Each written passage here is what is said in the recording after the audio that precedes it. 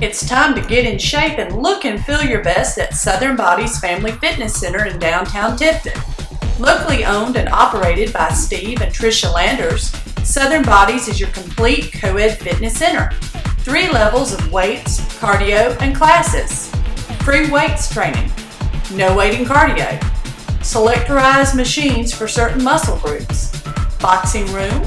Two kids play rooms. Group classes. 24-hour access seven days a week. Personal trainers to help you select the right diet and training program for you. And our Silver Sneakers program. Do you know one out of five people 65 and older are eligible for this fitness benefit? If you're a group retiree or part of a Medicaid health plan, you may already have a Silver Sneakers membership. We are a gym that is open to all fitness levels friendly staff and friendly members making our facility a comfortable place to work out. So get moving now. Call or go by Southern Bodies Family Fitness Center on Main Street in downtown Tifton, 229-386-1202.